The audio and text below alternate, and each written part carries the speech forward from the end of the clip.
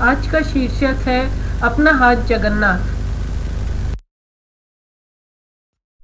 Hello friends मेरा नाम मनोहार है। दोस्तों, कई बार जीवन के अनुभव हमें ऐसा सबक दे जाते हैं जो किताबें भी हमें नहीं दे सकती। जीवन में ऐसे कई मोड़ आते हैं, जब हम जीवन में अपने काम के लिए दूसरे पर भरोसा कर बैठते हैं और यहीं पर चूक जाते हैं। जबकि जीवन नाम के इस चुनौती भरे सफ़र में हम केवल एक इंसान पर आँख मूंद कर भरोसा कर सकते हैं। वो इंसान है हम खुद। खुद पर विश्वास करने वाला हमेशा सफल होता है। आज इस वीडियो में मैं आपको यही बात एक कहानी के ज़रिए समझाने की कोशिश करूँगी। धर्मपाल एक बहुत ही मेहनती किसान था।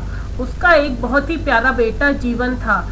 उन्हें जीवन के अनुभवों से कुछ सीख मिलती है। जिन्हें मैं आपको इस वीडियो में बता रही हूँ।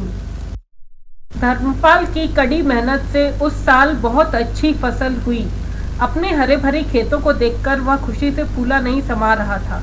अब फ़सल काटने का समय आ गया था, किंतु इसी बात से किसी को कुछ चिंता हो गई थी। बात यह थी, धर्म, की धर्मपाल के खेत में इसी बीच चिड़िया ने एक घोंसला बना लिया था। और उसके नन्हे मुन्ने चूचे अभी उड़ नहीं सकते थे। एक दिन धर्मपाल अपने बेटे जीवन के साथ खेत पर आया और बोला, बेटा, जाओ, अपने सभी रिश्तेदारों को खेत पर आमंत्रित करो और कहो कि वे अगले शनिवार को आकर हमारी फ़सल काटने में मदद करें। यह सुनकर चिड़िया के बच्चे बहुत घबरा गए और माँ से पूछने लगे माँ माँ हमारा क्या होगा?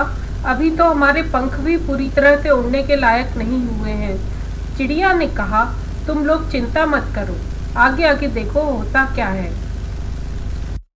अगले शनिवार को जब बाप बेटे खेत पर पहुँचे तो पाया कि एक भी रिश्तेदार वहाँ पर नहीं पहुँचा था।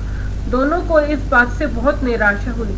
धर्मपाल जीवन से कहने लगा कि लगता है हमारे रिश्तेदार मन ही मन हमसे ईर्ष्या करते हैं, इसलिए नहीं आए। अब की बार तुम सब दोस्तों को अगले हफ़्ते के लिए आमंत्रित करो। चिड़िया के बच्चे फिर चिंता में पड़ गए और चिड़िया से फिर वही प्रश्न करने लगे। चिड़िया ने फिर वही जवाब दिया।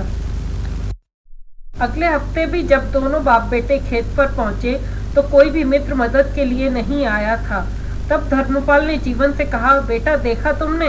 हमने दूसरों पर जब भी भरोसा किया, तब कोई भी काम नहीं आया। और निराशा ही हाथ लगी।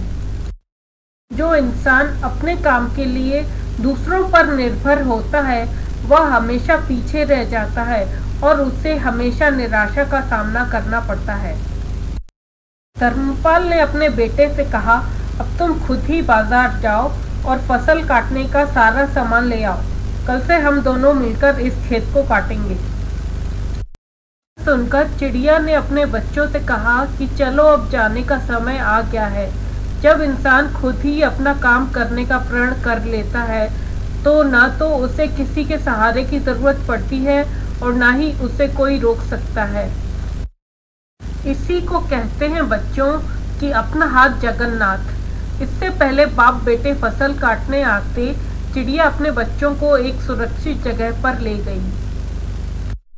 थैंक यू फ्रेंड्स अपने विचार लाइक शेयर और कमेंट्स करके बताइएगा। मेरे चैनल को सब्सक्राइब ज़रूर कीजिए और सब्सक्राइब करने के बाद बगल में जो बेल आइकॉन है, उसे ज़रूर दबाइए, जिससे मेरे चैनल के सभी अपडेट्स आप तक पहुँचते रहें।